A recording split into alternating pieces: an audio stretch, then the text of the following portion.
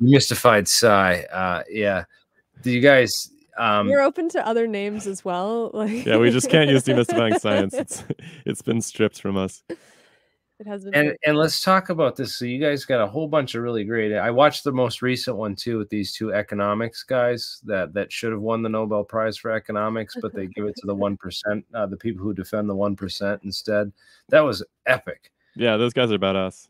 Yeah, those dudes are absolutely incredible, I mean, and, and, and you know what? Like if if we ever like do create free energy or anti gravity, and the and the you know Sweden calls me in the in the middle of the night to tell me I won that prize, I'm going to tell them to shove it up Henry Kissinger's ass. Uh, you win one as well, or is that or is that just uh do you just not like Kissinger? Oh yeah, well he he he won as well. He won the Nobel Peace Prize. So like basically, Wow. yeah, if if, if he can win the The Nobel Prize. Prize and these on. guys, these these one percenter economists are winning the, these uh th- this these prizes. Like uh, yeah, I, I'm all set with that with what with that prize and whatever it means. It doesn't mean anything to me. Um, I mean, what's really cool about Mike Hudson is he's he's gone back into like deep ancient history and looked at the successful economies and looked at what people did in order to not, you know, drive their populations into privation and strip. yeah it's the- just crazy what's going on right now but these guys nailed it they hit it they hit it so hard uh, um they hit they hit it, the nail on the head uh, like with that explanation man they explained so many of these terms like uh uh, I, I don't even know. I have to write them all down in vocabulary. It sounds like something you, you should teach to every high school student in America and have them like write these vocabulary terms down and take a I test. think like most it. people just don't understand how much un- un- unearned income contributes to the main market, this GDP business that everybody talks about. The economy, the economy is doing great, the GDP is up, but it's like it's really just this financial sector siphoning off all the wealth from the normal people, and they count that as growth economically, but it's really driving us into privation. Like it's really, really hurting, but you can't see that in this marker, and so Right, and, it's you a know, really Weasley tactic. Bidenomics. I mean, Yeah, it's old. This is old, way older than than uh, I know it's older Brandon. than that. Old. Babylonian almost. Oh no. Um, but that was great. Uh, when did you guys switch over? Because I remember I did an interview with you a long time ago, and you were using the uh, Muppets. Right? Okay. I was thinking that. I was like, her voice sounds so much like her. Yeah. It must be. Uh, yes. It was, yeah, it was too hard to make. Like we couldn't make eye contact with people. It was really hard to connect. And Uh, we were not puppeteers. I think that that was yeah, the we had homemade puppets. And I thought you guys did great. I really it also appreciate hurt. that. I like remember hell. I remember we talked to you, didn't we? Like we had like a whole thing. You like showed us around your lab and all the uh, the like alchemical stuff you were trying to do with Yes, silver. ma'am. Very true. That, yeah, right. I was with you. I do recall. It was good. Good to see you guys again, and looking very professional, by the way. I wish I had a tie. More human, this. at least. Yes. It was Oh, the When was that? Alien was- scientists that were alien puppets, correct? Two yeah, years. I think ago. there's still a few videos on this. This is a brand new channel, actually. Well, not brand new, but new since then. I think we have a couple of those puppeting videos at the beginning. Oh yeah, channel. Mickey and Quinn. That was Yeah, it. it is. There it is. Yeah. Okay. Well, that's why you got to have content. What happened to the old channel? You didn't have the continuity. You got just got to keep one channel and just got to get plug away at it and keep away at it. You know what? I took a huge break in like 2014 and I didn't do any videos for like a, a while, and and uh, that was like the the time of massive growth for YouTube. And I and I'm like, man, I'd be like one of the huge channels now if I like didn't go away for those key years, and I just stuck with it. But You Oh, came was back actually- I was once they were at that. shadow banned or, or shadow banning. and Well- they like really abridged access to a lot of topics and i was looking at i was looking through your videos and i was like man i wonder if you made those videos today i bet that youtube just wouldn't feed them to anyone Yeah. They don't like. A lot of them are hard to find. You won't you'll you won't find them in the searches. Like you can search the, the exact name and all the titles, and it will still be on like you'll have to go to page 100 to find it. It shows like it, it, they really messed with the algorithm and stuff, and and broken a lot of the smaller channels and uh and whatnot. But this is um yeah, this is just a treasure trove of, of great, uh, great guests and stuff. And I do like the more professional podcast, although that was fun with the uh, the, the, the aliens. It's definitely uh, Uh, it's definitely yeah easier to connect with you guys as humans. It just gave it a weird vibe because everybody thought it was a children's show, and so we'd have these people that were working on really complex science, and they would show up and they would think that they were having like PBS story time or Sesame Street or something.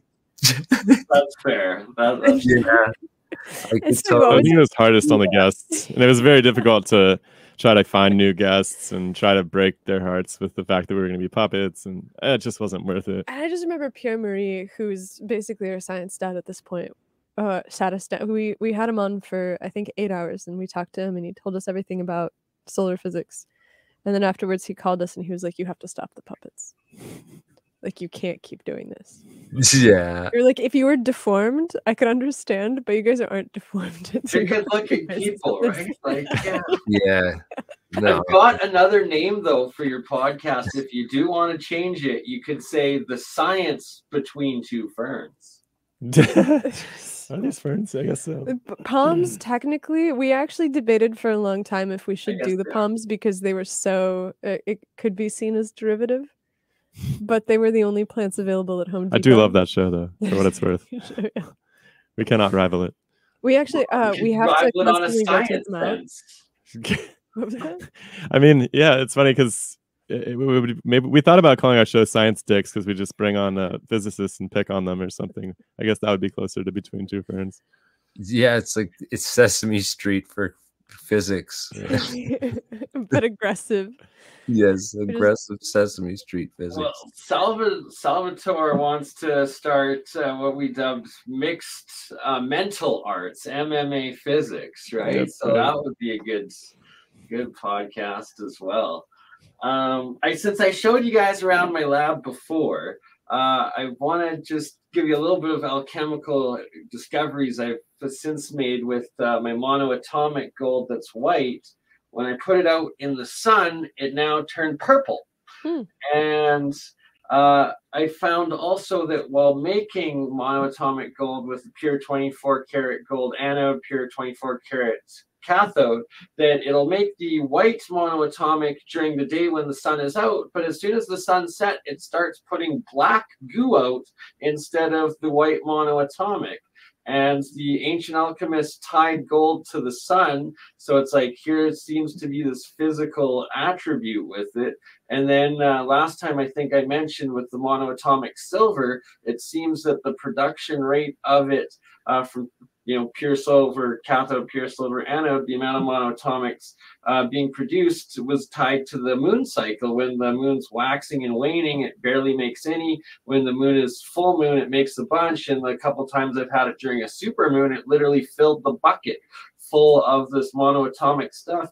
And I went so far as uh, last year with Jeremy on his Alien Scientist channel during the eclipse, we did some experiments and I set up the monoatomic silver where before the eclipse it was moving making a whole bunch and then as the eclipse happened it stopped making any live on your channel and then it continued once the eclipse was over so very very fascinating these energies and what the ancients tied to it Yeah, I know gold's a good ab- uh, monatomic gold's a good absorber in the IR. They they have to use it to make uh, black bodies if they want to do IR spectrum black bodies. So I wonder if it's something up there in the upper wavelengths that you're seeing in that reaction. Could it be UV? No, that's low, right? That's low wavelength or tiny wavelength. I'm talking about big long ones. Sure, but like UV would give you a lot of energy because so monatomic substances are like fully dispersed in solution, so you have to break them off the lattice. I was just talking about Pierre was literally just texting me yesterday about how they he was like, "There's something really interesting here with with gold, like in terms of its."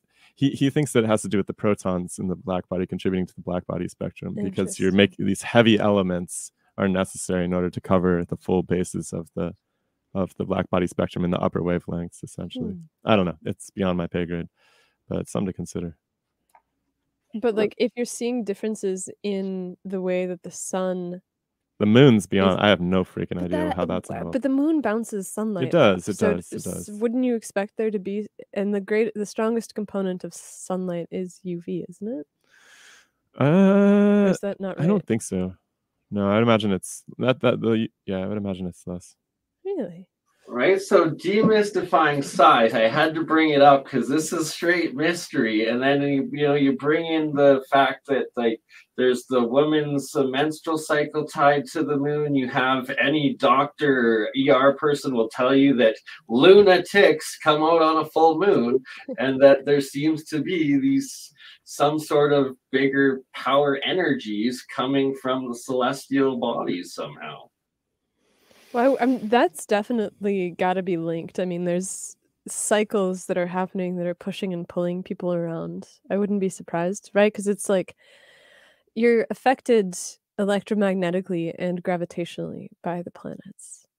You know, like one of the smartest physicists I, I have talked to eh, um, believe believes in astrology and i'm like how does this make any sense? And but if you think about maybe if like the, the alignment of the planets could uh, could kind of cause uh, certain kind of you know cycles and stuff with uh, right well from physics point of view they are the largest masses in our physical realm acting on each other with their gravity and the em fields that you know if it's tied to bioenergy somehow that uh, it would make sense i guess does the Earth? I mean, the problem is that like something even like Jupiter, like by far the the most massive body in the solar system, like more massive than all the rest of them put together, other than the sun.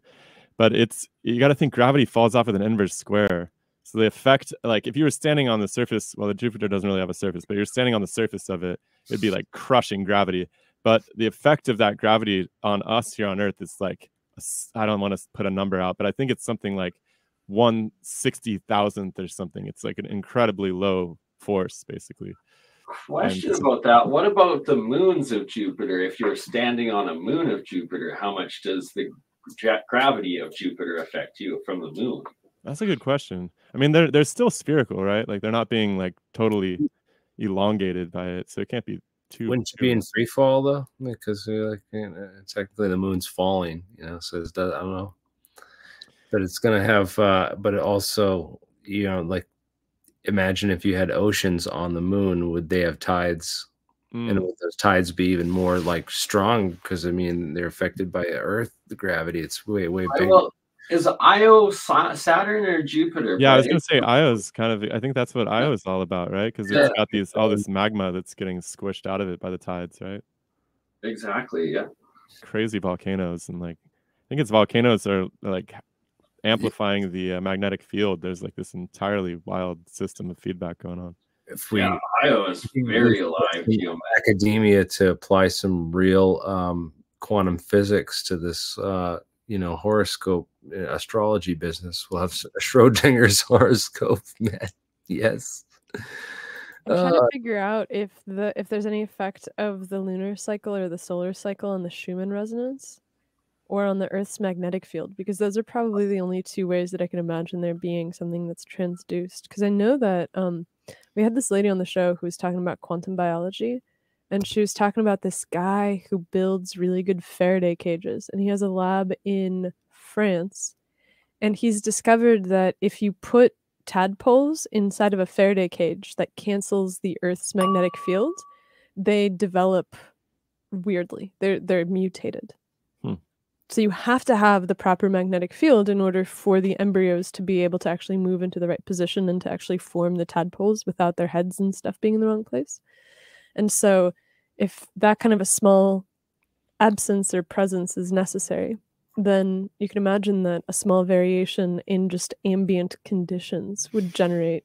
I can imagine all the stars. Also, I can imagine all the planets affecting the sun in some way too. Not not good on the Wi-Fi. Uh, uh, uh, all right. no, he was he was asking like if that's the case, how's Wi-Fi affecting us? And I was like, not good. Uh, uh, uh yeah. What were you trying to say then? I was just saying that I could imagine, I can imagine the resonance of the planets, like the alignment of the planets, affecting the sun, in particular its magnetic field, and so the solar wind, and so all the downstream effects of that on our our own lives here.